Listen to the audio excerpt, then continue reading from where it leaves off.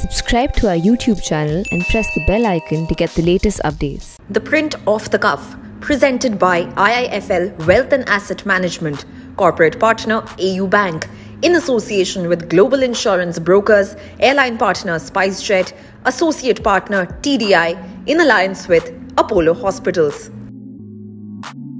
In times of COVID, one more episode of Off the Cuff. Once again, not really with an audience because of COVID, but indoors, yet without our masks and real, not virtual on Zoom. Because Gadkari ji के साथ बात करने का मज़ा तभी आता है जब आसपास बैठें और हम दोनों टीका लगवा चुके हैं ठीक ठाक है और आप तो वैसे अग्नि परीक्षा से भी निकले हैं हाँ कोविड की कोविड से भी निकला हूँ और अब टीका भी लगा लिया है तो टीका भी लगा लिया है। तो अभी- लेकिन कोविड का आपका एक्सपीरियंस कैसा रहा? काफ़ी मुश्किल हुई? नहीं मुझे मुश्किल नहीं हुई पर वीकनेस आया था बाद में। और उसके ऊपर मुझे एक डॉक्टर ने कुछ एक्सरसाइज बताई। वो बहुत सिंपल थी प्राणायाम की। ब्रीदिंग की? हाँ नाक से श्वास लेना पंद्रह बार नाक से छोड़ना नाक से लेना मुँह से छोड़ना। फिर मैं वो रबर का फुगा होता है वो पाँच बार फुगाता हूँ। फिर मोमबत्ती बलून हाँ बलून हाँ जी। फिर पाँच मोमबत्ती है उसको बुझाता हूँ लगा के दस बार। अच्छा मोमबत्ती बुझाने में ऐसे होता है when you blow at the ऐसा। कैंडल हाँ तो हाँ। ऐसा। सो योर लंग्स ये मेरा इतना फ़ायदा हुआ कि फिर फिर मैंने उसको अपने सोशल मीडिया पे डाला। करोड़ों लोग उसका अनुकरण कर रहे हैं। दुनिया में गया वो। अच्छा। मेरा रिसर्च नहीं था। That credit goes to that doctor पर उसका मुझे फ़ायदा हुआ तो मुझे लगा लोगों को भी मिलना चाहिए करके मैंने उसको भेज दिया। पर दुनिया में एक और चीज़ आपकी करी हुई गई। वो आपने एक जो स्पीच दी है अपने एन के अफसरों को, कि सब अफसरशाही ब्यूरोक्रेसी सब कुछ गड़बड़ करती है, और कोई बात, हर चीज़ they put everything in orbit nothing gets done that speech of yours also went around the world नहीं, वो ऐसा है कि मेरा भाषण जो था, वो एन की बिल्डिंग जो दो साल में बननी चाहिए, उसके लिए तेरह साल लगे। जो 120 करोड़ में होनी चाहिए, वो साढ़े तीन सौ, पौने चार सौ करोड़ लगे। तो जो वेस्टेज ऑफ़ मनी था, उसकी चीड़ मेरे मन में आई तो मैंने उस बिल्डिंग को लेकर वो भाषण दिया था। और उसमें गलतियाँ हुई, निर्णय नहीं करना, काफ़ी उसमें प्रॉब्लम थी जो आप, भाषण में आपने सुने। वो देखकर मैंने निश्चित रूप से जिन बातों का उल्लेख किया था। पर एनएचए में अच्छा भी काम होता है। अभी आज 35 किलोमीटर पर डे हमने क्रॉस किया है। कल का दिन बाकी है। एक समय में जब 40 करोड़ पर डे हम रोड बनाएँगे, हम highest in the world now इतना रोड कंस्ट्रक्शन किसी देश में नहीं होता। हमने अभी ढाई किलोमीटर रोड, चार लेन का सीमेंट कंक्रीट का 24 घंटे में किया। एक 25 किलोमीटर सिंगल लेन रोड हमने 24 घंटे में किया। वर्ल्ड रिकॉर्ड हो गए। तो अच्छा भी काम करने वाले लोग हैं, बुरा भी काम करने वाले लोग हैं। और उस बिल्डिंग को लेकर जो बातें सच्चाई की थी, वो मैंने सुनाई थी। तो जो सही था देश के हित में, वो मैंने कहा था। इसमें मैं वापस आता हूँ, लेकिन मुझे ये बताइए कि आप अभी सड़क की लेंथ कैसे कैलकुलेट करते हैं? ये ये चार लेन की सड़क है तो आप हर लेन के किलोमीटर जोड़ करके पैंतीस किलोमीटर बोलते हैं कि इसका मतलब अगर आपने आठ किलोमीटर में साढ़े आठ साढ़े आठ साढ़े आठ किलोमीटर की चार लेन बना दी तो वो छत्तीस किलोमीटर हो गए। इंटरनेशनल स्टैंडर्ड जो प्रकार का है उसी प्रकार का है। यूपीए सरकार में जो कैलकुलेशन था उसी का आज का कैलकुलेशन की पद्धति वही है। वही है बदली नहीं है। बदली नहीं है। कोई हमने अलग से किया और हम झूठ बोल रहे हैं ऐसा नहीं है। जो यूपीए सरकार में फार्मूला था वही है। जैसे सिंगल लेन उसको एक किलोमीटर तो उसको एक किलोमीटर कहेंगे दो लेन हो गया एक किलोमीटर तो दो लेन दो किलोमीटर होगा। तीन होगा तो तीन है। तो जो कंस्ट्रक्शन होता है उसको लेन के हिसाब से हिसाब करते हैं। और ये कोई हमने नहीं शुरू किया हुआ है। ये शुरू से ही है। ये शुरू से जो पद्धति है और वर्ल्ड में भी इसी प्रकार की पद्धति है। जी। तो अभी तो लेकिन आप और बड़ी बड़ी सड़कें भी बना रहे हैं एक्सप्रेस वे भी बना रहे हैं। लेकिन ये बताइए कि मैं उसी स्पीच पे लेके जाता हूँ कि आपको अब सात साल हो गए केंद्र सरकार में। उसके पहले आप राज्य में रहे, पहले और बहुत, अभी भी नौजवान हैं, पर उस समय तो बहुत नौजवान थे। मेरे ख्याल चौंतीस पैंतीस की उम्र में थे जब आपने ये मुंबई पुणे एक्सप्रेस वे बनाया। तो आपके तजुर्बे में अफसरशाही के साथ काम करना कितना चैलेंजिंग है, कितना चुनौतीपूर्ण है? और कितनी, कितने बदलाव आए हैं उसमें? देखिए, मैं पहली बात तो आपको बताऊँगा कि अधिकारी कैसे भी हों, मिनिस्टर कैसा ये देखकर अधिकारी रिस्पांस करते हैं और मदद भी करते हैं और काम भी करते हैं। और मेरा अनुभव बहुत अच्छा है, क्योंकि मैं अपने साथ ड्राइवर भी काम करता है, पुलिस वाला भी काम करता है, पीए भी करता है और अधिकारी भी करते हैं। तो मेरा मैनेजमेंट का प्रिंसिपल है कि ये मेरा परिवार है। मेरे रिटायर्ड हुए अधिकारियों के साथ भी आज मेरे फैमिली रिलेशन है। जो महाराष्ट्र में थे। दिल्ली में तो अभी भी जो रिटायर्ड वो भी है। तो मैंने कभी यूज़ एंड थ्रो नहीं किया।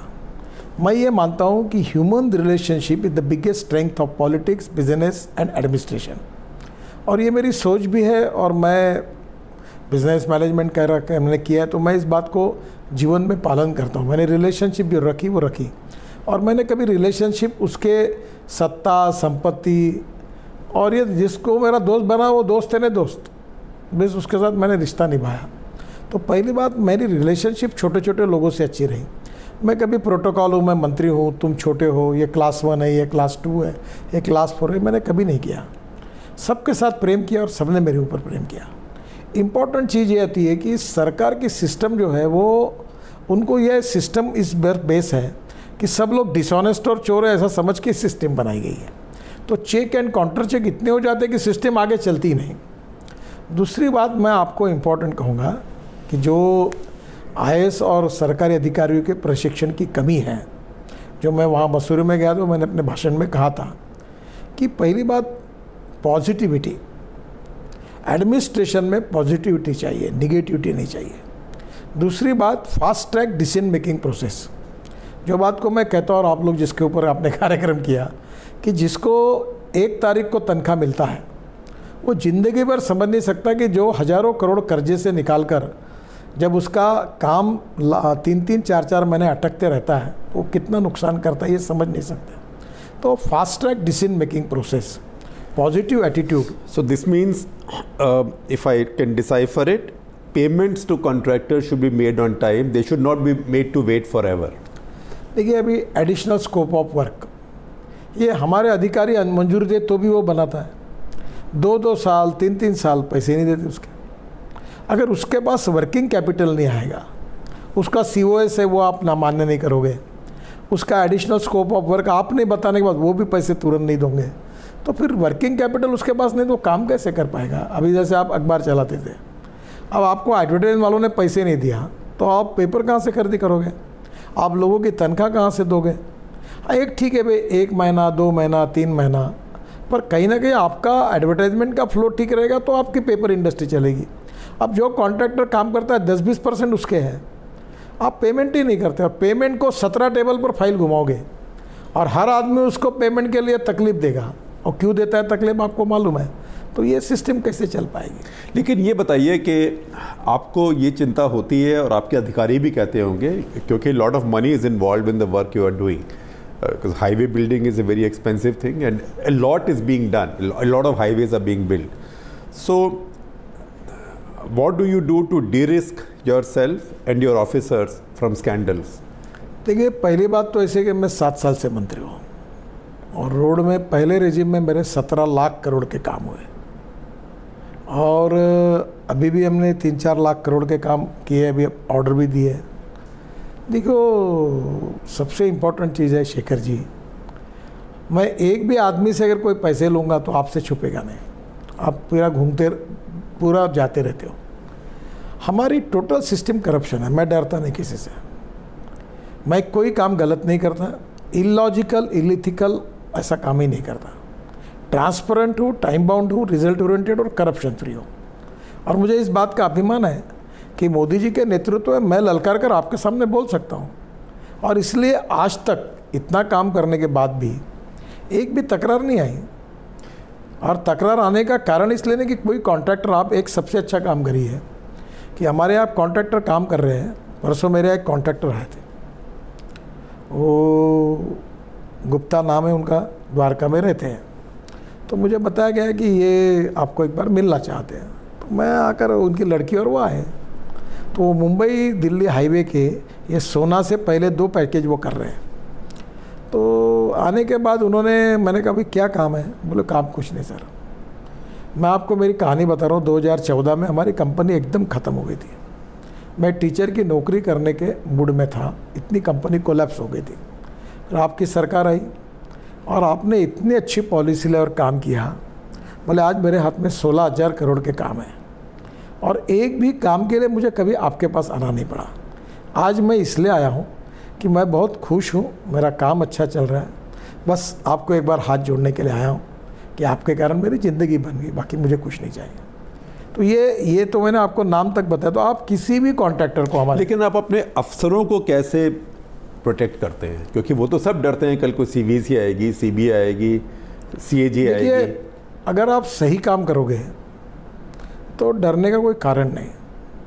और आपका हमारा हर टेंडर ई टेंडर होता है अभी लोग तीस तीस परसेंट बिल हो जा रहे हैं। तो हम लोग उसमें सब टेंडर में हमारा एटीट्यूड अप्रोच यही है कि जो लोएस्ट आएगा उसी को हम टेंडर देते हैं। कोई मैनिपुलेशन नहीं होता।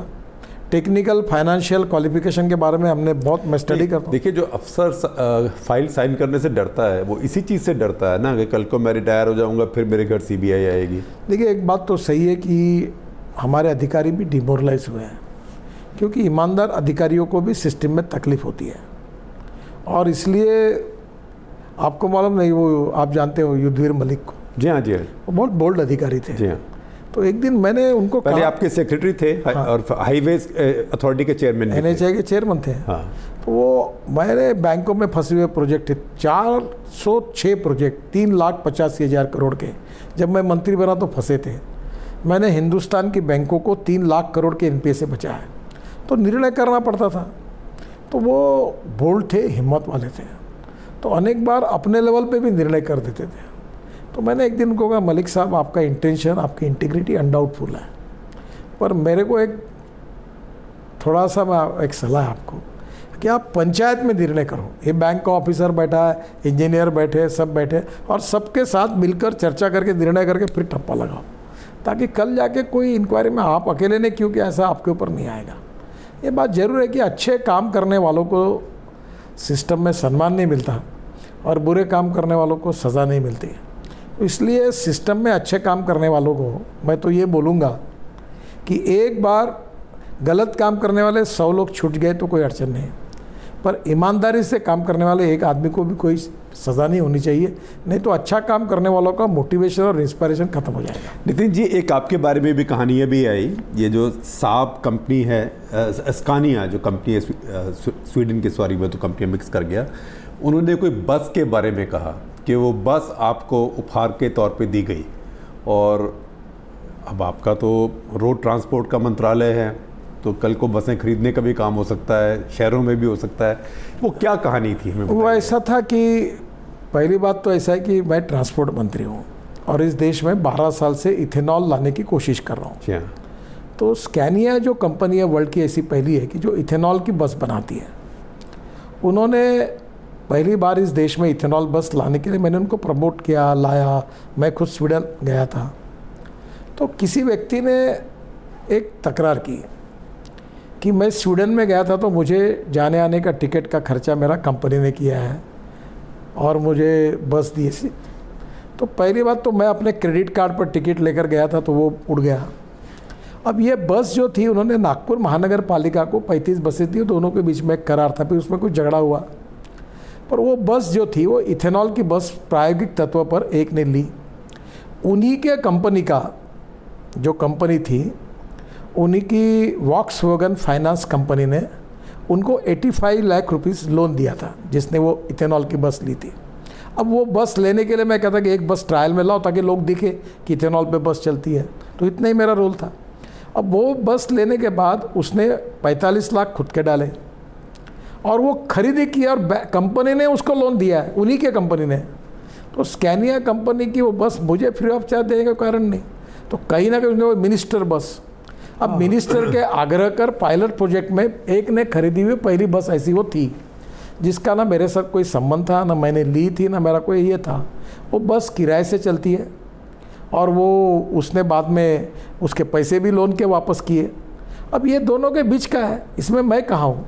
और जो बस स्कैनिया की ही फाइनेंस कंपनी फाइनेंस करती है एटी फाइव लाख रुपीज़ देती है और 45 लाख वो भरता ही तो रिकॉर्ड है। उनके उनकी इंक्वायरी में ये बात आई कैसे? आपने उनसे पूछा उनसे जवाब आया आपको? पहली बात तो ऐसा है कि स्कैनिया ने ये डिक्लेयर कर दिया इंडियन एक्सप्रेस बाकी पेपर को हाँ, बताया हाँ। कि हमने गडकरी जी को कोई प्राइवेट बस भेंट दी नहीं है। हम्म। और ये पूरी झूठ कहानी थी। और झूठ कहानी थी तो अब मैंने उनके ऊपर केस भी डाली है। शायद लंदन के कोर्ट में भी केस डाली है वो पत्रकारों के ऊपर। तो ऐसी मिस्चुअस ब्लैकमेलिंग की है। मैं बस ले मुझे एक बताइए कि मुझे बस लेने की ज़रूरत क्या है? अब मेरे पास तो कोई बस ही नहीं है। एक बात अगर ज़रूर थी कि इथेनॉल पर चलने वाली पहली बस देश में चले कोई उसको ले या लोग देखे क्योंकि मैं तुम्हारे जैसे लोगों को कहता था कि इथेनॉल पे बस चलती तो विश्वास ही नहीं रखते थे। तो एक बस जब चलेगी इथेनॉल पर 100 परसेंट तो लोग विश्वास रखेंगे तो एक पायलट बस इस देश में चले। ऐसा इनिशिएटिव मैंने लिया था। फिर नागपुर महानगर पालिका में वो दो बसेस चली, फिर 35 बसेस चली, फिर उनका महानगर पालिका के साथ करार हुआ उनकी कंपनी के साथ। तो वो भी उनका उसमें बारे में कोई विवाद नहीं आया। तो ये तो मैं प्रमोट कर रहा था, अभी इलेक्ट्रिक की कार आती है। तो मैंने अपने खुद पैसे से इलेक्ट्रिक कार लॉन्च की थी। उस कंपनी से अपने पैसे से लॉन्च खरीदी की और वो कार मैं नागपुर यूज़ करता हूँ। मैं इलेक्ट्रिक का प्रचार करता हूँ। मैं बायो फ्यूल का इथेनॉल का मिथेनॉल का बायोडीजल का इलेक्ट्रिक का हाइड्रोजन फ्यूल सेल का, रोज़ बोलता हूँ, रोज़ भाषण करूँ, मैं ट्रांसपोर्ट मंत्री हूँ। मैंने स्क्रैपिंग पॉलिसी लाई। अभी साढ़े सात लाख करोड़ की ऑटोमोबाइल इंडस्ट्री है। मैं बोलता हूँ, ये मैं दस लाख करोड़ की करूँगा। और स्क्रैपिंग पॉलिसी के कारण ई ई व्हीकल का, ई बस ई स्कूटर का, हिंदुस्तान वर्ल्ड का मैन्युफैक्चरिंग हब बनेगा। ये बात करता हूँ। लिथियम आयन बैटरी, अभी मेरा इंटरव्यू हुआ। अमेजोन ने अपने पूरे दस हज़ार व्हीकल इलेक्ट्रिक पर लाया अभी मैंने उसका लॉन्चिंग का भाषण किया।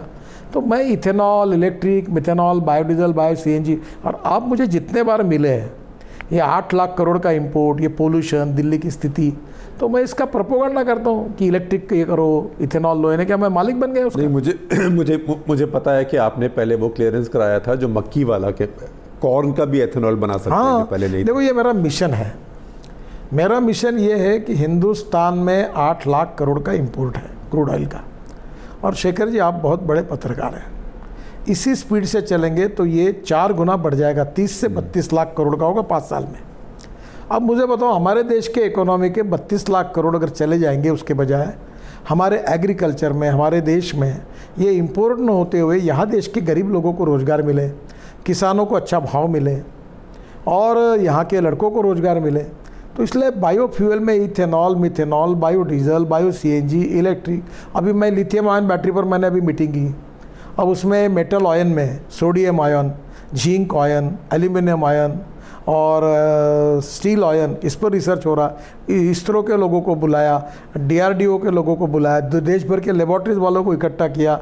अब वो lithium ion battery eighty one percent बन रही है। अब मैंने कहा कि छः महीने में हंड्रेड परसेंट बननी चाहिए। तो क्या वो बैटरी ने मैं मैं बना रहा हूँ ऐसा हो जाएगा क्या? देखो मुझे चिंता नहीं है जो इस प्रकार की पत्रकारिता करते एक बात आपके यहाँ भी आप ध्यान में लो। एक कोई आदमी गलत आरोप करता है तो कुछ लोग उसको छाप देते हैं। और नीचे में लिख देते हैं कि इस पर अभी हमने गडकरी जी को कुछ पूछा नहीं है। ये वायर करके कोई उसने पूरी स्टोरी लिख दी और नीचे में लिखा कि इनसे हमने बात नहीं की। अब खुद स्कैनिया कंपनी ने डिक्लेयर किया कि ना हमने किसी को बस बेट किया ना कुछ किया। तो Scania is a part of Volkswagen group मैं जानता हूँ हाँ। और वॉक्स वोगन के फाइनेंस कंपनी ने वो जो बस का उल्लेख था उसको फाइनेंस किया देखो इस प्रकार की अब तो राजनीति में ऐसे झूठे वाटे आरोप होते हैं पर मैं आपको कह रहा हूँ वो तो एक करोड़ पैंतीस लाख की बस थी। और जो भी पैसा दिया गया था वो कर्जा और वो का रिकॉर्ड था तो कोई विषय तो उड़ गया। छापा भी नहीं कही और लोगों ने सीरियसली लिया नहीं। पर इस प्रकार से जो बेसलेस बातें होती है उसका दखल लेने के पहले कम से कम हमारी पत्रकारिता में भी किसी ने न्यूज़ छापने के पहले उसके डिटेल में तो जाना चाहिए। जो गए वो कंपनी ने पूछा। अभी कुछ लोगों ने छापा कि स्कैनिया से हमने बात की और उन्होंने कहा हमने ऐसी कोई बस उनको भेंट नहीं दी। मैं अपने खुद के टिकट से गया था और अभी भी मैं इलेक्ट्रिक बस ले स्कूटर कार में घूमता हूँ। तो मैंने अपने खुद खरीदी की है पैसे से। नितिन जी ये बताइए कि मुझे भी समझ नहीं आई है कि आपकी स्क्रैपेज पॉलिसी कैसे काम करेगी क्योंकि अमेरिका में 2008 में they had come with a policy cash for clunkers तो आपका ये कैश फॉर क्लंकर्स है। क्लंकर्स मतलब जो खटारा गाड़ियाँ हैं उसके बदले आपको कुछ वैल्यू मिलेगी। तो आप ये कैसे हाउ विल इट वर्क देखो पहली बात तो ऐसे कि इस पॉलिसी की विशेषता समझ लीजिए। मैं जब स्टूडेंट था 74 में तब मैंने बजाज स्कूटर ली थी। तो मैं कहता था इसका एवरेज 26 से 28 किलोमीटर पर लीटर आता है। और लैमरेटा स्कूटर थी वो बीस इक्कीस पे आती है। तो मैं कहता था ये फ्यूल इफिशेंट है। अब जो टू व्हीलर है आप तो मेरे से नौजवान हैं। हम जब आप उस उम्र के थे टू व्हीलर वाली तब तो बजाज के लिए 18 साल की वेटिंग लिस्ट थी। तो हमने तो इनफील्ड खरीदी जो कि वो जलाती थी खूब। तो अब अब मुझे बताइए अब 80 किलोमीटर पर किलोमीटर की आ गई है जी हाँ। 85 की आ गई है। 85 की आ तो मुझे बताइए पुराना भंगार बेचकर अगर आप ज़्यादा एवरेज ले तो आपका पैसा नहीं बचता? मेंटेनेंस कॉस्ट नहीं बचती? हाँ, तो अभी इसे कैसे करेंगे कैसे ये? पहली बात तो ऐसी है कि इसमें पंद्रह साल के ऊपर जो व्हीकल्स हैं उसमें दो कैटेगरी है प्राइवेट और कमर्शियल तो कमर्शियल में तो 10 साल के बाद ही उसको फिटनेस सर्टिफिकेट लेना पड़ेगा। और प्राइवेट में जो 15 साल के होगा उनका फिटनेस सर्टिफिकेट नहीं तो उनको अपना होटल स्क्रैप करना होगा। अगर वो स्क्रैप करके उनको अगर सर्टिफिकेट उसकी कीमत भी मिलेगी उनको। पचास, साठ, सत्तर हज़ार कुछ। उसकी कीमत मिलने के बाद वो सर्टिफिकेट अगर लेकर वो नई गाड़ी खरीदने के लिए जाते हैं तो उस पर उनको कम से कम पाँच परसेंट डिस्काउंट मिलेगा। तो ये विन विन सिचुएशन है। लेकिन ये भारतवर्ष है। यहाँ पे तो कोई भी फिटनेस सर्टिफिकेट ले आएगा चाहे उसकी 80 साल पुरानी गाड़ी हो। सर हमने फिटनेस के जो इंस्ट्रू- हमारे इंस्ट्रूमेंट है वो कंप्यूटराइज किए हैं। एक बार वो गाड़ी बेचकर जो आएगा वो रीडिंग वहाँ से रजिस्टर होकर हमारे सरोवर में आ गया। इतना जल्दी मैनिपुलेट नहीं हो पाएगा वो। स्टेट्स के साथ भी हाँ और इसका अब इतनी परफेक्शन है कि ये आसानी से कोई कर नहीं पाएगा। और देखो अब देश में कम से कम तीन चार करोड़ व्हीकल ऐसे हैं कि जो इतना धुआँ फेंकते हुए घूमते हैं। आज आज दिल्ली का पोल्यूशन है। आप ही देखो कोई लोग बाहर के आने के लिए तैयार नहीं। आज यहाँ का जो पोल्यूशन है ऑटोमोबाइल का चौबीस परसेंट पोल्यूशन ऑटोमोबाइल का है। क्या हमें इसको कम नहीं करना चाहिए? इसने कारण हमारे यहाँ कितने लोगों की स्वास्थ्य में कितना बिगाड़ होता है। तो आप ये एक scrapping policy win win situation है। किसी पर अन्याय करने वाली नहीं है। नहीं तो लेकिन आपने कोई टारगेट रखा है कि पहले साल में इतने स्क्रैप किए जाएँगे? देखो टारगेट वगैरह रखकर उसके कोई मतलब नहीं है। क्योंकि देखिए स्क्रैप करना है किसी ने अगर बेचनी है तो वैसे ही बेचाएगा मैं आपको एक। सिंपल बात पूछता हाँ। हूँ अगर आपकी 10 साल अगर पुरानी गाड़ी होती है तो आपको पंद्रह बीस हज़ार तो मेंटेनेंस की कॉस्ट लगती है और नई गाड़ी कोई खरीदी करोगे तो पाँच पाँच छः छः साल एक रुपये मेंटेनेंस के लिए नहीं लगता नहीं वो तो ठीक है लेकिन अगर मेरे पास पुरानी गाड़ी है और मुझे नई लेनी है मैं तो कबाड़ी को बेचाऊँगा मुझे उसमें पैसे ज़्यादा मिल जाएँगे आप कबाड़ी को ऐसा है कि जो स्क्रैपिंग करने वाली जो इंडस्ट्री होगी वो आपसे खरीदी करेगी आपका मार्केट खुला है पचास लोग रहने वाले रहेंगे। आप कीमत देकर जो आपका देखेगा वो आपको अच्छी कीमत देगा उसको बेचो। और उससे आपको फिर डिस्काउंट मिल जाएगा। वो सर्टिफिकेट आप लेकर जाकर वो नए डीलर के पास जाएगा। तो ये हमारी एडवाइजरी की है हमने। सब लोग देंगे ऐसा मेरा विश्वास है। वो टोटल कॉस्ट पर पाँच परसेंट डिस्काउंट मिलेगा। किसी किसी मैन्युफैक्चरर ने मना भी किया है ये करने से? देखो कोई कोई दो बोल रहा था कोई तीन बोल रहा था। तो मैंने इनको कहा कि पाँच परसेंट अभी एक दो तैयार हो गए। एक ने शुरू किया तो सब कर देंगे। सब कर देंगे। तो अब मैं कुछ अपने सुनने वालों से भी मेहमान तो या नहीं है उनके भी सवाल पूछता हूँ। तो प्रशांत महर्षि हैं ये आई के मेंबर हैं इनकम टैक्स एपलेट ट्राइब्यूनल के। तो ये कह रहे हैं कि भारत की जो इकोनॉमी है जीडीपी में it's fifth the fifth largest in the world so on infrastructure when will India get the fifth ranking you think देखिए इंफ्रास्ट्रक्चर में वाटर पावर ट्रांसपोर्ट कम्युनिकेशन उसमें रेलवे आती है, उसमें पावर आती है, उसमें शिपिंग आता है पोर्ट आता है तो सब तो मेरे पास नहीं है। पर मैं आपको इतना ही बात बताऊँगा कि रोड इंफ्रास्ट्रक्चर में आने वाले तीन चार साल में, जब पाँच साल पूरे होंगे, शेखर जी, मैं बहुत ज़िम्मेदारी से बोल रहा हूँ और मैंने की हुई बातें कभी खाली नहीं गई है। इस पाँच साल इस रिजिम के जब पूरे होंगे तो हिंदुस्तान का रोड इंफ्रास्ट्रक्चर अमेरिका और यूरोपियन कंट्री के बराबर होगा। एक्सप्रेस हाईवे होंगे एक्सिस कंट्रोल एक्सप्रेस हाईवे होंगे ग्रीन हाईवेज होंगे पब्लिक ट्रांसपोर्ट और इलेक्ट्रिसिटी होगी और काफ़ी बड़े सुधार होंगे और बाकी भी क्षेत्र में रेलवे से लेकर शिपिंग पोर्ट में भी काफ़ी काम हुआ है। शिपिंग पोर्ट में अब मैं मंत्री नहीं हूँ, पर मैं जब था तो मेरा बजट 800 करोड़ का था। पर मैंने सागरमाला करके 16 लाख करोड़ का प्रोजेक्ट शुरू किया था। और उसमें मैं जब था तभी पाँच साल में मैंने छः लाख करोड़ के काम पूरे किए थे। तो सागरमाला, भारतमाला में हम लोग कम से कम अभी चौबीस हज़ार करोड़ के रोड बना रहे हैं। और आपको एक ही छोटी बात, आप कोई भी देश में किसी भी स्टेट में जाओ, किसी भी स्टेट में, और किसी भी पार्टी के नेताओं को पूछो जो बीजेपी का नहीं है, उसको बोलो रोड का क्या। जबकि अभी तो हमारा ट्रेलर शुरू हुआ है, अभी फ़िल्म शुरू होना बाकी है। सब लोग आपको पॉजिटिव फीडबैक देंगे। चाहे आप पंजाब में जाओ हरियाणा में जाओ बिहार में जाओ यूपी में जाओ अरुणाचल जाओ मेघालय जाओ त्रिपुरा जाओ तेलंगाना जाओ कर्नाटक जाओ आंध्र जाओ तमिलनाडु जाओ कहीं भी जाओ आपको अच्छी बात नहीं ये मुझे समझाइए नॉर्थ ईस्ट के लिए आपने क्या एक अलग से कॉरपोरेशन बनाया? वो कैसे काम कर रहा है? हमने नॉर्थ ईस्ट के लिए एक N H I D C L करके हमने कारपोरेशन बनाई जब हमारी सरकार आई तब। और उस कॉरपोरेशन में अब डेढ़ से दो लाख करोड़ के काम है। और उसने अभी चालीस एक हज़ार करोड़ के काम पूरे भी किए हैं। आसाम, अरुणाचल, मेघालय, त्रिपुरा, मणिपुर, ये जो पूरा नॉर्थ ईस्ट है, वहाँ हम काम कर रहे हैं। वर्ल्ड बैंक के सहयोग से एडीबी के भी कोई बड़े बड़े म्यांमार तक के प्रोजेक्ट कर रहे रोड के। अभी मैंने नर्मदा में अपना ये ब्रह्मपुत्रा में हमने ड्रेजिंग करके ड्रेजिंग पूरा किया बराक का पूरी किया, पूरा ड्रेजिंग किया। फिर मैंने ये बांग्लादेश में जाकर मुंगली पोर्ट तक भी ड्रेजिंग करा के दिया है। और वाटर पोर्ट बने हैं। गंगा का वाटर वाटरवेज पूरा हुआ है। रोड में भी काफ़ी बड़ा काम नॉर्थ ईस्ट में हुआ है। और इस चुनाव में भी जब मैं गया तो मुझे जहाँ जहाँ गया वहाँ लोग कह रहे थे कि हमारे रोड के इतने बदल गए कि लोगों की खुशी चेहरे पर दिख रही थी। आप तो नितिन जी पहले पार्टी अध्यक्ष रह चुके हैं बड़ी नौजवानी में। ये बताइए कि जो बीजेपी का एक नया तरीका है कि राज्य का मुख्यमंत्री नहीं बोलना पहले। कांग्रेस वाला तरीका बीजेपी क्यों अपना रही है?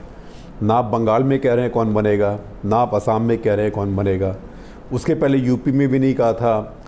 देखिए, ये बात पार्टी में, साधारणतः लोकतांत्रिक पार्टी में ऐसा होता है, और वो पद्धति भी होती है कि नए एमएलए और एमपी चुनकर आने के बाद अपने नेताओं को तय करते हैं।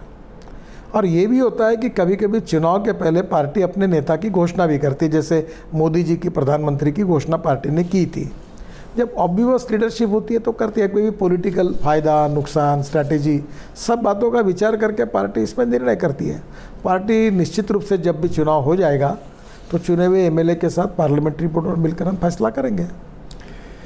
लेकिन आज जो आपकी पार्टी चल रही है, इसमें और जो पहले पार्टी चलती थी, जैसे आपके समय, राजनाथ जी के समय, उसमें पार्टी के चलने में क्या फ़र्क है? और ये बेहतर है या बदतर है?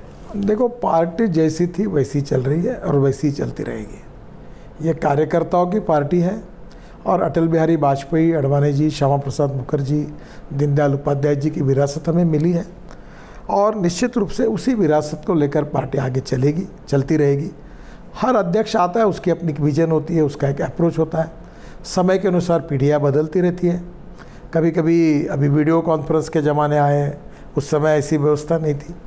तो परिस्थिति के अनुसार बदल भी होते हैं और मूल जो मैं कभी कभी कहता हूँ कि सुप्रीम कोर्ट में जैसा वो निर्णय लगा था ना salient features of the constitution cannot be change वैसे पार्टी की बेसिक बात कभी चेंज नहीं होती वो कायम रहती है समय के अनुसार बाकी कुछ बातें कम जैसे कॉन्स्टिट्यूशन का भी से basic structure can't be change ऐसे party has a basic structure so define BJP is basic structure ये कार्यकर्ताओं की पार्टी है ये लोकतांत्रिक पार्टी है। हमारे बूथ से लेकर चुनाव होता है। चुने हुए अध्यक्षों से हमारा अखिल ऑल इंडिया के अध्यक्ष का चुनाव होता है। चुनाव अधिकारी करके लोग काम करते हैं। हर जगह पर कुछ जगह पर चुनाव में मतदान होता है। लिस्ट बनती है। और उस चुनाव लेकिन अभी तो राहुल गांधी ने कहा कि बीजेपी के लिए कोई नहीं पूछता कि चुनाव क्यों नहीं होता सब कांग्रेस के लिए पूछते हैं। नहीं नहीं राहुल गांधी को पता ही नहीं जी वो बहुत नॉन सीरियस बातें करता है। पहली बात तो ऐसी है कि बीजेपी में हर स्टेट में चुनाव हुआ है। हर ज़िले में चुनाव हुआ है हर नगर में चुनाव हुआ है। आज नड्डा जी भी चुनकर आते हैं तो अभी उसके बाद में ये वोटिंग होने के बाद ही आएँगे। देखो कुछ फ़ेज़ में टेम्पररी ऐसे होंगे तो भी एक बार उनको राष्ट्रीय परिषद में अपना उनका सब बातों में शिकामोतब करना योगी आदित्यनाथ जी को तो बना दिया ना यहाँ से वो पहले वो तो बाद में चुनाव कराया एक बार नाम उनका लेके हाईकमांड ने। आपके यहाँ भी हाईकमांड कल्चर आई है अभी। देखो पार्लियामेंट्री बोर्ड तो सुप्रीम है। अटल जी अडवाणी जी के समय भी पार्लियामेंट्री बोर्ड में अनेक बार जब निर्णय थे तो पार्लियामेंट बोर्ड में वो फाइनल हुए। और हर पार्टी में होता है। Ideologically what is the basic structure of BJP देखो राष्ट्रवाद। नेशनलिज्म नेशनलिज्म ये हमारा आत्मा है। दूसरी बात गुड गवर्नेंस अगर हम विपक्ष में होंगे तो लोकतंत्र में विपक्ष और सत्ता पक्ष ये लोकतांत्रिक व्यवस्था के दो व्हील्स हैं। और दोनों को बैलेंसिंग करना लोकतंत्र को यशस्वी करने के लिए आवश्यक है। हम सत्तारूढ़ पार्टी में होंगे तो गुड गवर्नेंस के लिए काम करेंगे और विपक्ष में होंगे तो हम विरोधी पार्टी के नाते अपना काम करेंगे। तो गुड गवर्नेंस एंड डेवलपमेंट ये हमारा एजेंडा है। और अंत्योदय, सामाजिक आर्थिक चिंतन पंडित दीनदयाल उपाध्याय जी का और महात्मा गांधी जी का भी यही था कि समाज के आर्थिक, समाज के आर्थिक स्थिति से जो जिसके पास खाने के लिए रोटी नहीं, रहने के लिए मकान नहीं, जिसके शरीर पर कपड़ा नहीं है, जो सामाजिक, आर्थिक, शैक्षणिक दृष्टि से पिछड़ा हुआ है, ऐसे व्यक्ति को हम परमेश्वर मानकर उसकी निरंतर सेवा करते रहे, ये अंत्योदय हमारा उद्दिष्ट है। और इसमें सबसे इम्पोर्टेंट चीज़ ऐसी है कि हमारी पार्टी ये परिवार की पार्टी नहीं है। मैं भी पार्टी में पोस्टर चिपकाता था, दीवार पर, काले दीवार पर सफ़ेद पेंट लगाता था। मोदी जी के भी पिताजी, माताजी कोई एमपी एमएलए नहीं थे। वो एक चाय बेचने का काम करते थे, उस परिस्थिति से आए हैं। हमारे पार्टी में नेता के पेट से नेता नहीं पैदा होगा। अटल बिहारी वाजपेयी नहीं थे, ना अडवाणी जी थे, ना श्यामा प्रसाद मुखर्जी थे। हम लोगों ने अपने अपने जीवन में कन्विक्शन के साथ, एक विचार के साथ, लोकतांत्रिक आस्था पर, व्यवस्था पर विश्वास रखकर, उनने पार्टी की स्थापना की इमरजेंसी के खिलाफ लड़ाई लड़ी। आपको मैं बताता हूँ, अगर चौहत्तर में मैंने एक साल कॉलेज का छोड़ दिया और जेपी के आह्वान पर मैं इमरजेंसी के खिलाफ काम करने लगा, उसी से राजनीति में आया तो मैं लोकतंत्र ये आस्था है हमारी, ये कमिटमेंट है, ये श्रद्धा है। और उसी के आधार पर हम पार्टी राजनीति में आई और आज वो कन्विक्शन है। और मैं आपको एक बात साफ़ बताता हूँ, मेरे पदों से सत्ता में मिले पदों से भी मेरी विचारधारा श्रेष्ठ है। इसलिए हमने पार्टी में एक बात मैं कहता था, अध्यक्ष, पर्स एंड पर्सन। यानी पैसा और व्यक्ति, इसमें व्यक्ति श्रेष्ठ है। पार्टी एंड फिलॉसफी, इसमें फिलॉसफी श्रेष्ठ है। और इसलिए मैं अक्सर एक बात कहता हूँ कि जो फिलॉसफी है, वो जो कन्विक्शन है कि समाज की सामाजिक आर्थिक परिवर्तन के लिए और हिंदुस्तान को आत्मनिर्भर भारत बनाना भयभूख आतंक से मुक्त करना, गाँव गरीब मजदूर किसान का कल्याण करना और वर्ल्ड की नंबर एक की ग्लोबल इकोनॉमी बनाना। और ये देश में बेरोजगारों को रोज़गार मिले किसानों को सुखी समृद्धता संपन्नता मिले ऐसा राम राज्य जो गांधी जी कहते थे। उस प्रकार का एक राम राज्य इस देश में निर्माण हो ये देश आगे जाए दुनिया के नंबर एक की ताकत बने यही हमारी कन्विक्शन है यही विचारधारा उसके लिए हम काम कर रहे हैं। इतना बेसिक स्ट्रक्चर तो आपने बताया बीजेपी का इसमें हिंदुत्व तो आपने बताया नहीं वो बेसिक स्ट्रक्चर में नहीं है। सर हिंदुत्व यही राष्ट्रीयत्व है। जो राष्ट्रवाद है हाँ। हिंदुत्व ये आप सावरकर जी का आपने सुना होगा। हिंदुत्व का धर्म संबंध किसी रिलीजन के साथ नहीं है। पूजा पद्धति के साथ नहीं। आप सुप्रीम कोर्ट ने हिंदुत्व का जो डेफिनेशन की है it's a way of life जैसे आप पत्रकार हैं बहुत बड़े Hinduism is a way of life Hindutva is a political concept नहीं मैं आपको बताता हूँ। हिंदुत्व ये वे ऑफ़ लाइफ है। जैसे आप पत्रकार हैं आप कहते हैं कि मैं मेरे पत्रकार धर्म का पालन कर रहा हूँ। तो धर्म का अर्थ कर्तव्य के साथ होता है। हिंदुत्व का अर्थ जो है, ये देश का इतिहास, संस्कृति, विरासत से लेकर इस देश का इतिहास, यानी किसका इतिहास? बहुसंख्य हिंदू समाज का इतिहास ही है। और इसलिए हिंदू या जातिवादी या संकुचित शब्द नहीं है, सांप्रदायिक शब्द नहीं है। शेखर जी, मैं आपको एक प्रार्थना करूँगा, इसको ज़रूर डिबेट कराइए। सेकुलर शब्द का अंग्रेज़ी डिक्शनरी में अर्थ क्या है? धर्मनिरपेक्षता नहीं है। हाँ। सर्वधर्म समभाव और पंथ निरपेक्षता ये सेकुलर शब्द का अर्थ है। तो सब धर्मों के साथ समान न्याय justice with all and appeasement of none सबका साथ सबका विकास। तो अपीजमेंट होती कैसे है? हाँ? किस चीज़ को आप अपीजमेंट कहते हैं? नहीं अपीजमेंट ऐसा है कि हमारे देश में विदेशी नागरिक घुसने के बाद हमारे यहाँ कुछ पार्टियाँ उनको नागरिकत्व देने की बात करती है और वोटिंग राइट देती है। उसका समर्थन करती है। ये एंटी नेशनल अप्रोच है। जो हमारे कॉन्स्टिट्यूशन में लिखा है कि जो हिंदू है, बौद्ध है, जैन है क्रिश्चियन है सिख है, वो अगर किसी देश से अगर आते हैं तो वो निर्वासित है। उनको हमारे देश में सिटीजनशिप मांगने का अधिकार है। पर जब भारत और पाकिस्तान दो देश बनने के बाद पाकिस्तान ने अपने को मुस्लिम राष्ट्र घोषित किया। हमने हमको हिंदू राष्ट्र घोषित नहीं, नहीं किया। वो कॉन्स्टिट्यूशन में नहीं लिखा है वो सी में कहा गया है जो अभी लॉ पास करिए उसमें कहा गया है। नहीं सर आप एक काम करिए कि जो शरणार्थी आए थे हाँ वो शरणार्थी तो पार्टीशन के समय उस समय यही था। हाँ। और उस समय गांधी जी ने एक स्वीकार किया था कांग्रेस ने स्वीकार किया और ये संविधान में लिखा हुआ है कि जो हिंदू आ रहे हैं पाकिस्तान से वो मजबूरी से आ रहे हैं। देखो मैं आपको बताता हूँ। इस देश में वर्ल्ड में मुसलमान अगर कहीं जाता है निर्वासित होता है तो उसको जाने के लिए सौ दो सौ देश है। नहीं देखिए वो तो एक अलग नहीं बात ऐसा नहीं ये मुद्दा मेरा पूरा हाँ, होने दीजिए। हाँ। पर इस देश के सिख बौद्ध जैन इस देश के हिंदुओं को कहाँ देश है? कहाँ जाएँगे नहीं नितिन जी वो बात चलिए आप- आपकी मान गया। लेकिन जो आपने लॉ पास की है ये तो 31 दिसंबर 2014 तक की है।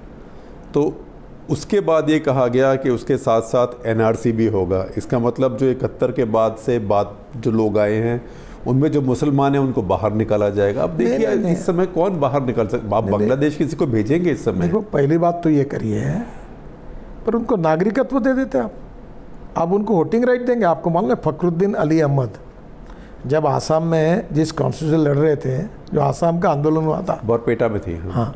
अचानक उनके कॉन्स्टिट्यूशन में 40 परसेंट ग्रोथ हो गए। कितने कॉन्स्टिट्यूशन में? और वो आने वाले लोग वोटिंग कर रहे कांग्रेस को। तो ठीक है लेकिन अब आज मतलब इसमें भी नहीं, पर इसमें भी मैं नहीं, आपको- इसमें भी पेचीदा इश्यूज़ है। मैं तीन साल असम कवर कर चुका हूँ। लेकिन अब आप सोचें कि जो इकहत्तर में आया बहत्तर में आया उसके तो पोते पोती पैदा हो गए। उसको आप बांग्लादेश भेजेंगे अभी जो आपका एक ही देश दोस्त है। पड़ोस में। तो ये सर ये ग- गड़े पहली बात पहली बात तो ऐसा है? पहली बात तो ऐसा है कि इसके बाद नए लोग तो आना बंद होने चाहिए कि नहीं? हाँ वो ठीक है वो तो वो बंद फिर आने वाले लोगों के लिए क्या करना कैसे मार्ग निकालना? और बांग्लादेश हमारा मित्र राष्ट्र है। इसके बारे में चर्चा करके हम उचित निर्णय करेंगे। देखो हम किसी को अमानवता वा हम मानवतावादी हैं। देखो बांग्लादेश को जब स्वातंत्र मिला तो जब निर्वासित आए थे तो देश भर में जाकर बसे। हमारे यहाँ गढ़चिरौली ज़िले में बंगला कैंप है जो सबसे ट्राइबल जिला जो नक्सलवादी व्यक्ति वहाँ भी बांग्लादेश बंगला बंगाल से लोग आके बसे। हमने उनको स्वीकार किया पर उसके साथ साथ हम नागरिकत्व भी देते हैं सिटीजनशिप के साथ वोटिंग राइट भी देते हैं। आगे मत दीजिए वो अलग बात है लेकिन ये जो लॉ पास हुई है तो आगे के लिए है ही नहीं है तो पीछे के लिए है। देखिए पहली बात तो ऐसी है कि इसके बारे में ये संवेदनशील इशू है। और बांग्लादेश और हम सब बातों को सोच समझकर, बहुत विचार विनिमय के साथ सरकार काम करेगी। ऐसी जिस प्रकार का प्रेजेंटेशन होता है, जैसा आपने प्रश्न पूछा, ऐसी बात नहीं है, पर देश की अंतर्गत और बाह्य सुरक्षा, ये भी हमारे लिए महत्वपूर्ण है। और निश्चित रूप से इस देश में लोगों की रक्षा करना भी हमारी ज़िम्मेदारी है। जी तो लेकिन उसमें डिस्क्रिमिनेशन के आप खिलाफ हैं। इसमें डिस्क्रिमिनेशन किसी के साथ भेदभाव भेदभाव नहीं होना हम चाहिए। करते ही नहीं कभी। हमारे ऊपर सोशल डिस्क्रिमिनेशन इकोनॉमिक डिस्क्रिमिनेशन और रीजनल डिस्क्रिमिनेशन के आरोप गलत हैं। हम सामाजिक समता आर्थिक समता को अपना कमिटमेंट मानते हैं अपना कन्विक्शन मानते हैं। और कोई भी व्यक्ति उसकी जात पंथ धर्म भाषा और सेक्स से बड़ा नहीं होता उसके गुणों से बड़ा होता है इस बात पर हमारा विश्वास है। मुझे याद है बड़ा साहब देवरज जी का वसंत व्याख्यानमाला का भाषण है। कि अस्पृश्यता और जातीयता बुरी नहीं है तो दूसरी कोई चीज़ बुरी हो ही नहीं सकती। हम सोशल इक्वलिटी इकोनॉमिक इक्वलिटी को मानते हैं और धर्म के साथ, मैं आपको बताता हूँ मोदी जी के नेतृत्व में, हमने उज्ज्वला गैस योजना बनाई। दस करोड़ से ज़्यादा लोगों को फ़ायदा मिला। क्या उसमें मुसलमान और सबको नहीं मिला, क्रिश्चियनों को, बाकी लोगों को नहीं मिला? हमने जनधन योजना में बैंक अकाउंट खोले। तो क्या मुझे बताइए कि मुसलमानों के अकाउंट नहीं खुले? हम जितनी योजना में, आयुष्य योजना में मदद कर रहे हैं, क्या मुसलमानों को मदद नहीं मिल रही? एक तो भी योजना ऐसी है शेखर जी, कि जिसमें हमने धर्म के आधार पर, जात के आधार पर कई डिस्क्रिमिनेशन किया। हमारा एक भी काम आप बताओ हमको। हमारे बारे में image versus reality and ground reality versus perception वाली कहानी है। वोट बैंक के पॉलिटिक्स के लिए कुछ लोगों ने हमें बदनाम किया है। बटाला हाउस में आतंकवादियों ने पुलिस ऑफिसर को मारा। बाटला हाउस में बटला हाउस में तो वो पुलिस ऑफिसर मारा उसके घर में सांत्वन करने के लिए कोई जा नहीं रहा। जो आतंकवादी मरे उनके घर में कांग्रेस के लोग लाइन लगा के जा रहे वो तो खैर वो वो तो एक बेवकूफ़ी थी कांग्रेस की क्योंकि उसमें कांग्रेस ने ही पुलिस ऑफिसर को अशोक चक्र दिया जो कि पीस टाइम में हाईएस्ट गैलेंट्री अवार्ड है। और कांग्रेस के कुछ लोग शुरू हो गए उसमें उल्टा बोलने वो तो एक वो तो एक जानी मानी बात है। अब मैं आपकी मिनिस्ट्री पर वापस आता हूँ। मौसमी दास गुप्ता हैं आप जानते हैं उनको। आपकी मिनिस्ट्री कवर कवर कर, करती हैं बहुत सालों से। वो कह रही हैं कि पार्लियामेंट्री कमेटी ने कहा है कि आपकी जो बोरोइंग है बहुत ज़्यादा हो गई है। सतानवे हज़ार करोड़ रुपए आपका उधार हो गया है आपकी मिनिस्ट्री का। और उन्होंने यूज़ किया है word distressed they are distressed to note N H A I's huge debt servicing liability to the tune of rupees ninety seven thousand crore देखिए मैं ये दुर्भाग्य का विषय कि यही बात पहले पिछ में कुछ अधिकारियों ने भी की थी। आपको पता है एन का इस बार इनकम कितना है? इस साल का। कितना है? हमारा पिछले साल चौबीस हज़ार करोड़ था और दस हज़ार करोड़ हमारा इनकम कम होना चाहिए था कोविड के कारण। इस साल कल शाम तक हमारा इनकम है चौंतीस हज़ार करोड़। और पाँच साल जब मैं पूरे करूँगा तो एन का इनकम होगा एक लाख चौंतीस हज़ार करोड़। और आपको ये पता है कि मैं आपको एक सवाल पूछता हूँ।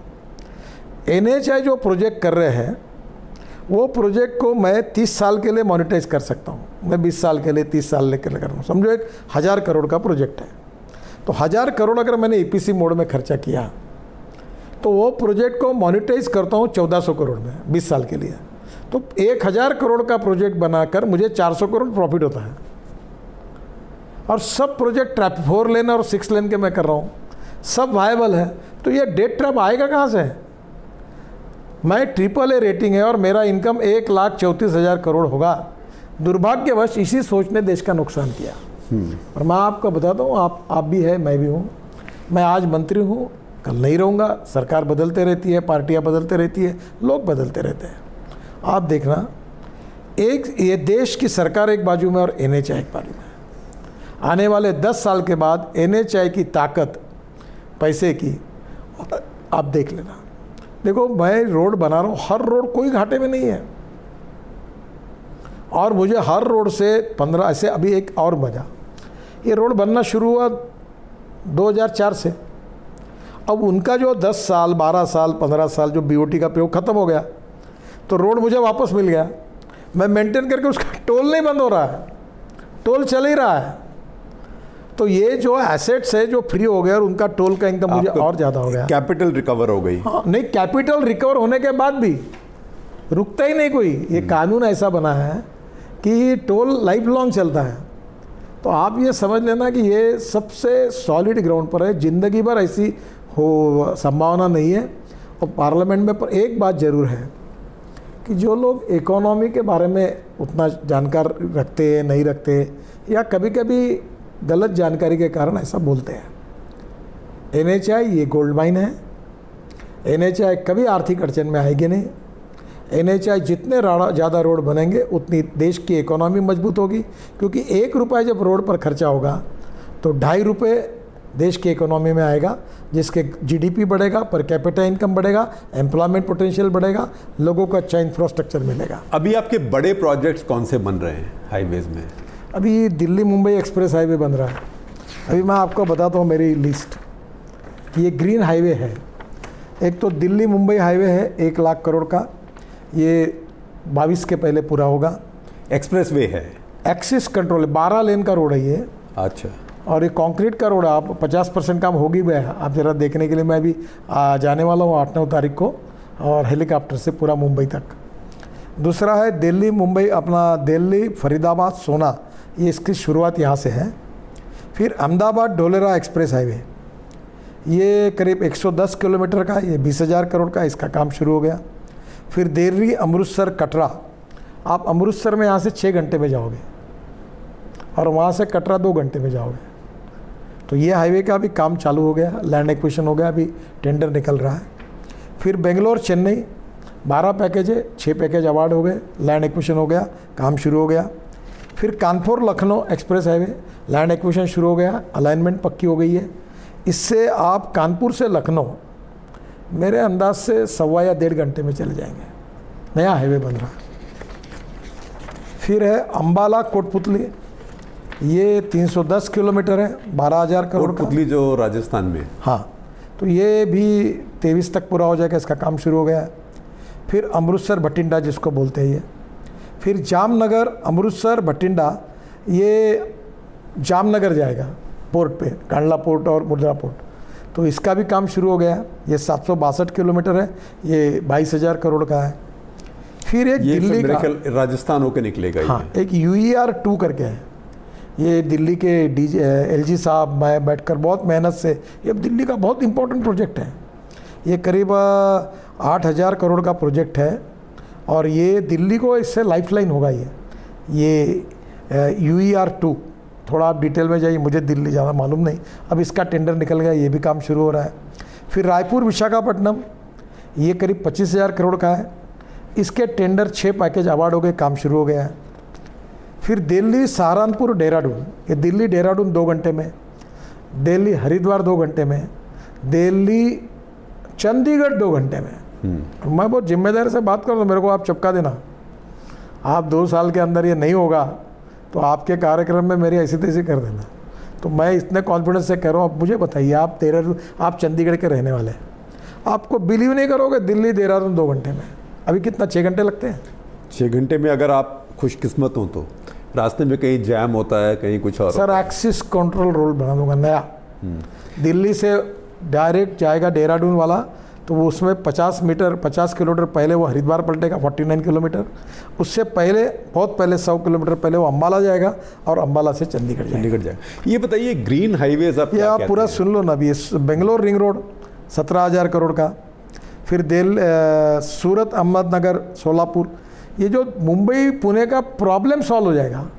ये जितना बेंगलोर चेन्नई बेंगलोर और कोचीन और हैदराबाद जो ट्रैफ़िक जाता है उत्तर भारत का ये सूरत से ही पलट के डायरेक्ट नासिक जाएगा। नासिक से सोलापुर और सोलापुर से दक्षिण में जाएगा। तो पूरा पुणे और मुंबई का ट्रैफ़िक कंजेशन काफ़ी कम हो जाएगा। फिर चेन्नई सालेम फिर ध्रुग रायपुर अरंग फिर चित्तूर त्रचूर खड़गपुर ये सिलगुड़ी। चेन्नई सालेम तो रुका हुआ था ना कोई प्रोटेस्ट वगैरह से? सुप्रीम कोर्ट में केस थी। अब हो गया निर्णय लग। गया। हाँ। फिर सोलापुर करनूल इंदौर हैदराबाद हैदराबाद विशाखापट्टनम कोटा इंदौर ये गरोवा उज्जैन से है हैदराबाद रायपुर और नागपुर विजयवाड़ा। ये हम सत्रह बना रहे हैं और इसके साथ ये ग्रीन है पूरे। और इसके साथ हम लोग ये ये ग्रीन का मतलब क्या होता है? ग्रीन का मतलब दो है कि एग्जिस्टिंग रोड जहाँ होगा उसको हम four lane six lane eight lane बनाएँगे वो एग्जिस्टिंग रोड ग्रीन नहीं होता। ग्रीन है जहाँ रोड ही नहीं है हम पूरा अच्छा ग्रीन जैसे ग्रीन फ़ील्ड कहते हैं। ग्रीन फ़ील्ड नई जगह ले रहे पूरी। और एक भी कहीं मकान नहीं जा रहा घर नहीं जा रहा। और क्या होता है अभी रोड ऐसा ऐसा ऐसा जाता है। वो सीधा जाता है। अभी ये जो अक्षरधाम से निकलेगा डायरेक्ट उधर चंडीगढ़ जाएगा डायरेक्ट इधर डेरा तो इसका राइट ऑफ़ वे आपको कहाँ से मिलेगा?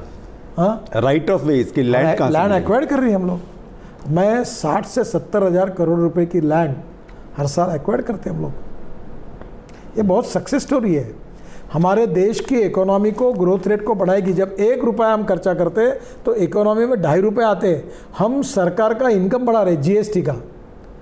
हम जब रोड का काम करते तो 20 से 25 परसेंट तीस परसेंट इनकम स्टेट गवर्नमेंट और भारत सरकार को मिलता है। स्टील सीमेंट पर जीएसटी मिलता है रॉयल्टी मिलती है जो हम इक्विपमेंट मशीनरी डबल टर्नओवर हो गया उनका। ये जो पेवर बनाते रेडीमिक्स इनका टर्नओवर डबल हो गया। और उससे कितना एमएसएमई को काम मिला? एमएसएमईज के ऊपर ये एक सवाल है हमारे एक सुनने वाले पूछ रहे हैं। वो कह रहे हैं कि ये मुझे समझ नहीं आया सवाल इसलिए मैं लिख के लाया हूँ। तो वो कह रहे हैं कि रिटेलर्स जो हैं why are retailers not included in MSMEs for funding because he says retail is excluded even though there are twenty twelve million retailers एक करोड़ बीस लाख रिटेलर है। आपको मैं न्यूज़ दे रहा हूँ जी हाँ। कि अब रिटेलर की केस मैंने लीगल ओपिनियन के लिए हमारे अटर्नी जनरल के पास भेजी है उसका ओपिनियन मिलने के बाद इसके ऊपर हम उचित निर्णय करेंगे। क्योंकि वो कह रहे कह, कहना चाहते हैं कि अमेज़ोन फ्लिपकार्ट ये तो प्राइसिंग नीचे करके रिटेलर्स को वैसे ही ठोक रहे हैं। ऊपर से उनको फंडिंग भी नहीं मिल रही है। मैं उनकी भावना से सहमत हूँ और मैं इसके बारे में पॉजिटिव पर एक बार लीगल ओपिनियन लेके मैं इसके बारे में निर्णय करूँगा। दूसरा ये कि ये आप देखते हैं कि एनवायरनमेंट में और इंफ्रास्ट्रक्चर बिल्डिंग में कुछ कॉन्फ्लिक्ट है? नहीं। पेड़ काटना। मुझे बताइए कि मैं ये जो दिल्ली के आसपास साठ हज़ार करोड़ के रोड बना रहा हूँ शेखर जी मैंने दिल्ली का ईस्टर्ली वेस्टर्ली बाईपास जो बना उससे दिल्ली का पोल्यूशन कम नहीं हुआ। पंजाब हरियाणा उत्तराखंड हिमाचल का ट्रैफ़िक जो गुजरात महाराष्ट्र दक्षिण में जाता था पूरा दिल्ली के बाहर जा रहा। अब ये एन एच एट आप याद करो, तीन साल पहले, चार साल पहले, इस रोड पर रात को जाते धुआँ धुआँ पूरा कार्बन डाइऑक्साइड रहता था। रोड बनाने से हमने दिल्ली का पोल्यूशन मैं, मेरे डिपार्टमेंट ने कम किया है। अब ये यमुना के लिए छः हज़ार करोड़ हमने दिल्ली सरकार को वाटर पोल्यूशन के लिए दिए। सोनीपत, पानीपत का प्लांट मैंने नमामि गंगा में पूरा किया।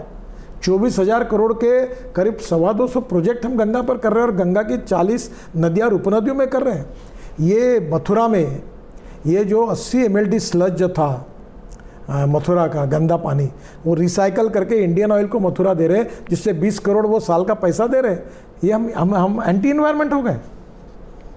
वो इलेक्ट्रिक कार ला रहे इथेनॉल को बढ़ा रहे बायो फ्यूल ग्रीन फ्यूल को। और रोड बनाने से मैं आपको एक बात पूछता हूँ ये कभी कभी आप भी अच्छी तरीके से लोगों को बताइए कि दिल्ली से मुंबई एक ट्रक जाता है वो महीने में हार्डली चार या पाँच ट्रिपे मारता है। अब नवे हाईवे के बाद अठारह घंटे में जाएगा। तो मुझे बताएँ, वो एक महीने में दस ट्रिपे मारेगा, वो गियर बदलेगा नहीं। अभी तो वहाँ कितना फ्यूल कम होगा? अभी मैंने फास्ट ट्रैक शुरू किया। अब कोई रुकने की ज़रूरत ही नहीं। तीन मिनट पे आया पहले आधा आधा घंटा रुकते थे। कितना लाखों रुपये करोड़ों का फ्यूल बच रहा है। अब मैं ला रहा हूँ सैटेलाइट बेस्ड सिस्टम टोल की। तो तुमको रुकना ही नहीं है। कहीं, नो टोल बैरियर्स। तो पूरा पोल्यूशन तो खत्म उसमें ये कहानी भी खत्म हो जाएगी जो आजकल प्रोटेस्टर्स के टोल बैरियर फ्री कर दिया हमने। नहीं उसमें ऐसा है कि वो वो जो कैमरा होगा वो आपके नंबर प्लेट जहाँ से जाओगे वहाँ का फ़ोटो निकालेगा। जहाँ से निकलेगे वहाँ निकालेगा हिसाब कराएगा कंप्यूटर और आपके बैंक अकाउंट से उतना पैसा माइनस हो जाएगा। हो जाएगा। तो इस, इसी के कॉन्टेक्स्ट में आर वेंकटेश हैं ये सीनियर वाइस प्रेसिडेंट हैं मेक माई ट्रिप में। वो कह रहे हैं कि वो ट्रैवल कंपनी में काम करते हैं कि अब one nation one road tax कब शुरू करेंगे? तो शुरू हो गया। आज मुझे बताइए जो परमिट है नेशनल परमिट अब बस के और ट्रक के हम अब बिल्कुल दे रहे हैं। मैंने अभी ईज ऑफ़ बिज़नेस में उस दिन पार्लियामेंट में ज़ाहिर किया। अट्ठारह बातों को ज़ाहिर किया है जो हमारे ई गवर्नेंस के साथ है। देखो ये एक सब्जेक्ट ध्यान में रखिए कि ट्रांसपोर्ट ये सब्जेक्ट कॉन्करेंट लिस्ट में है। सब बातें मैं नहीं कर सकता। जी हाँ जी। कुछ स्टेट गवर्नमेंट के हाथ में है। तो स्टेट गवर्नमेंट अगर कोई गलत चीज़ करे उसका बिल मेरे नाम पर मत फाड़िए मैंने अपने तरफ़ से पूरा क्लियर कर दिया। हम्म। लेकिन आपकी जब स्टेट गवर्नमेंट से बात होती है तो आपको इसमें रिसेप्टिव नज़र आते हैं कि कुछ टेंशन नज़र आती है? रिसेप्टिव आते हैं। देखो वेस्टेड इंटरेस्ट है अब आर टी ऑफिसर्स है वो तो मेरे ऊपर नाराज़ है। अब मैंने घर में बैठ के लाइसेंस मिलाने की प्रथा कर दी। तुम तुम्हारे घर में कंप्यूटर में बैठ के लाइसेंस मिलेगा। तो आर टी ऑफिसर मेरे ऊपर नाराज़ हुए। मैंने ऐसी अठारह सर्विसेज़ की जो घर में बैठ के होगा। अब आपने अगर पुलिस ने आपको पकड़ा, कागज़ कहा आपके? तो आपके मोबाइल में हमारा इलेक्ट्रॉनिक का वो ये है स्टोरेज है। उसमें आप बताइए, आपका ड्राइविंग लाइसेंस बता देंगे मोबाइल फ़ोन पर, आपके कागज़ बता देंगे। तो कोई चालान नहीं करेगा अब कुछ बातें अच्छी करने से कुछ लोग तो नाराज़ होते ही है। ये मेरे शैतान एक साथी हैं, डीके सिंह। तो वो कह रहे हैं कि महाराष्ट्र में आपकी पार्टी अब इतनी समस्या में आई, ये तीन पार्टियों की सरकार बन गई। तो जब पहले आपकी पार्टी जीती थी तो बहुत सोचा जा रहा था कि आपको शायद मुख्यमंत्री बनने के लिए कहा जाएगा। और आप नौजवान आप तो छप्पन सत्तावन साल के थे उस समय। आपको कभी अफसोस होता है कि क्यों नहीं हुआ? देखो पहले बात तो ऐसा है कि आप मुझे परमानेंट नौजवान मानिए। हाँ बिल्कुल हाँ। मैं विचारों से मेरे मुकाबले तो आप नौजवान और अभी। आजकल मैं रोज़ प्राणायाम करता हूँ और मेरी तबीयत इतनी अच्छी सुधर गई। रोज़ 25 मिनट सुबह और शाम को घूमता हूँ। देखो, मैं जब दिल्ली के राजनीति में आया था, तब मैं आने के लिए तैयार नहीं था। तब महाराष्ट्र ही मेरा राजनीतिक जीवन था। दिल्ली आया था तो मैं रिलेक्टेंट था। अब दिल्ली आया हूँ, राष्ट्रीय राजनीति में आया हूँ, अब मैं चार धाम का रोड बना रहा हूँ, मुंबई दिल्ली जैसे हाईवे बना रहा हूँ, अब मैं मैं मानस सरोवर जाने का रोड बना रहा हूँ, अब मैं इमोशनल आदमी हूँ, अब मेरे काम से मैं जुड़ा हुआ अब मैं महाराष्ट्र जाना नहीं चाहता, न मेरी इच्छा थी न मैंने किसी को कहा। और जब मुझे उस समय भी पूछा तो मैंने कहा मैं यहीं ठीक हूँ मुझे जाने की इच्छा नहीं है। तो आपकी पार्टी का भविष्य क्या अभी महाराष्ट्र में? और ये जो सरकार है इसका भविष्य तो क्या है? पार्टी का भविष्य का है ये तो नड्डा जी बताएँगे या देवेंद्र फडणवीस बताएँगे। आजकल मैं महाराष्ट्र के राजनीति से मेरा कोई संबंध भी नहीं है और मैं कहीं पढ़ता भी लेकिन ये जो सरकार है महाराष्ट्र में इसका क्या भविष्य है? खास करके अभी जो स्कैंडल हुए इनके बाद। ये सरकार जो है इनकी ये अननेचुरल अलायंस है। क्योंकि तीनों पार्टी के विचार आपस में मेल नहीं खाते पर ये बीजेपी के विरोध के लिए बनी हुई है। खैर तो सत्ता के लिए बनी है लेकिन जो अभी सचिन वाजे टाइप इंसिडेंट हुए इसका असर पड़ेगा या निकल जाएगा ये? देखो ये जो कुछ हो रहा है इससे महाराष्ट्र की बहुत बदनामी हो रही है। एक मराठी मानुस करके और महाराष्ट्र होने का ये सब जब पढ़ता हूँ नेशनल में तो बुरा लगता है। मुझे लगता है कि महाराष्ट्र एक सुखी समृद्ध संपन्न राज्य है। संतों की पार्श्वभूमि है महाराष्ट्र को। तुकाराम महाराज एकनाथ महाराज ज्ञानेश्वर महाराज गजानंद महाराज टुकड़ोजी महाराज एक भाषा संस्कृति इतिहास नाटक कला फ़िल्म समृद्ध महाराष्ट्र पत्रकारिता। उस महाराष्ट्र में ये सब बातें होती है तो डर तो होता ही है। पर अब अभी ऐसा है कि मैं महाराष्ट्र से सभी दृष्टि से अनभिज्ञ हूँ। छः सात महीने से मुंबई गया भी नहीं हूँ और महाराष्ट्र के राजनीति के पंजड़ में मैं फंसता भी नहीं हूँ बोलता भी नहीं हूँ और पढ़ता भी नहीं हूँ। लेकिन देखिए महाराष्ट्र की स्थिति अभी ये है कि देश में गलत चीज़ में चैंपियन है कोविड में चैंपियन है। देखो ये दुर्भाग्य है नागपुर में सबसे ज़्यादा कोविड है पूना नागपुर और पूना में। अब इसके लिए किसी व्यक्ति को या किसी पार्टी और सरकार को तो जिम्मेदार नहीं ठहरा जाएगा। हम लोग कोशिश कर रहे हैं। रात दिन काम कर रहे हैं लोगों को एडमिट कर रहे अभी मैं था नागपुर में। मेरे तीन ऑफ़िस का ऑफ़िस पूरा। मैंने पूरे कोविड के पेशेंट एडमिट करना ये करना कैपेसिटी बढ़ाना डॉक्टरों से बातचीत करना। अब कर रहे पर तुम कह रहे वो सच तो है। अब कोविड ये आपत्ति है और पूरे वर्ल्ड पर आई हुई है। हमारे ऊपर आई है।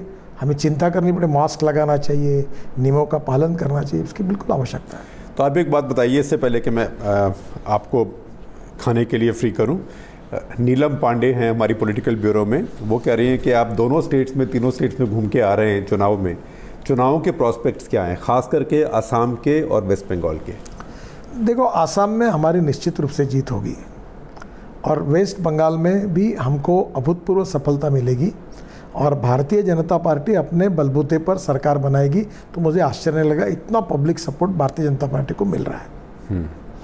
लेकिन क्या कारण है? देखो हर जगह अलग अलग ये जो आसाम का वोट है ये पॉजिटिव वोट है। और इसलिए मोदी जी के और सोनवाल जी के नेतृत्व में जो सरकार ने काम किया उसका एक पॉजिटिव भाव लोगों के मन में है। तो निश्चित रूप से हम जीतेंगे। बंगाल में मोदी जी के नेतृत्व में जो काम किया उसका तो फ़ायदा मिल ही रहा है। पर इस समय लोगों ने सीपीएम की सरकार को आजमाया उसके पहले कांग्रेस के सरकार को आजमाया दोनों से निराश होकर ममता जी को भी चांस दिया उनको भी आजमाया अब लोग दोनों के साथ साथ ममता जी पर भी नाराज़ हैं और नए विकल्प चाह रहे इस समय का होट ममता जी के विरोध का होट है और लोग ऑप्शन के रूप में बीजेपी को विकल्प मानते हैं। तो तो निश्चित रूप में ममता जी के बारे में आपका क्या ख्याल है? देखो वो उनके पार्टी में मैं अपने पार्टी में हूँ। राज राजनीति में मतभिन्नता होती है मतभेद होते हैं मनभेद नहीं होते अटल बिहारी वाजपेयी जी ने यही संस्कार हमको दिया है। उनकी अपनी एक पार्टी है उनका अपना एक विचार। है हम एक दूसरे के दुश्मन थोड़ी हैं। उनके कार्यक्रमों में उनने जो काम किया उसको लेकर वो जनता में जाएगी। हमने काम किया किया इसको हम लेकर जाएँगे। जनता मालिक है जिसको वोट देगी वो चुन कर आएँगे। तो मैं किसी से पॉलिटिकल दुश्मनी के कभी इसमें रहता भी नहीं और दुश्मन मानता भी नहीं। जिसने मेरा बुरा भी किया होगा उसके साथ भी मेरे अच्छे संबंध हैं।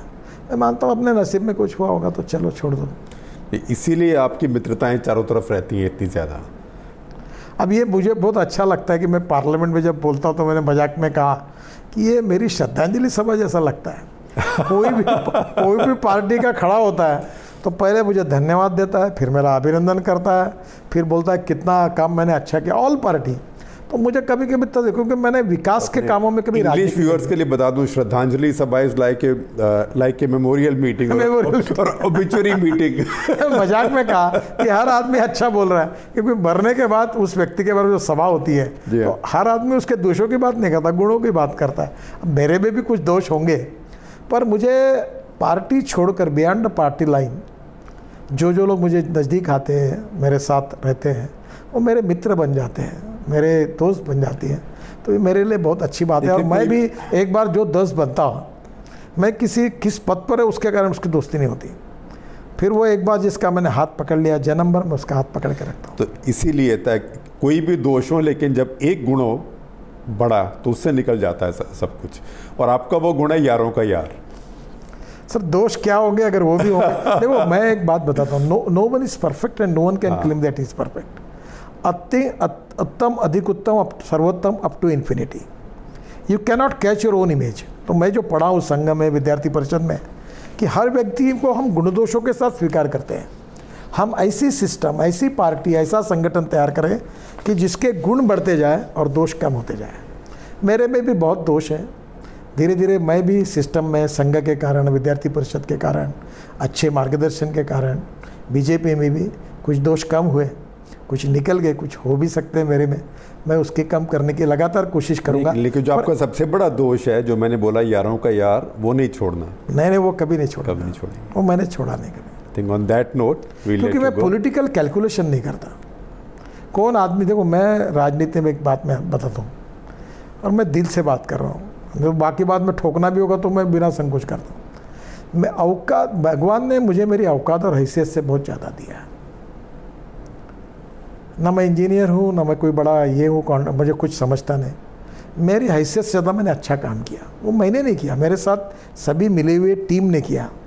और उसके कारण मुझे बहुत श्रेय मिला। है और मैं मुंबई में वर्ली बांद्रा सीलिंग से लेकर highway, express highway, Mumbai Pune पचपन उड्डान पुल से लेकर, तब मुझे नया नया लगता था। तो मेरा अमिताभ बच्चन ने मुझे कहा था कि मैंने कहा मैं तो आपको बहुत चाहता हूँ आपकी फ़िल्म को देखता हूँ और मुझे मारपीट की फ़िल्म बहुत पसंद है।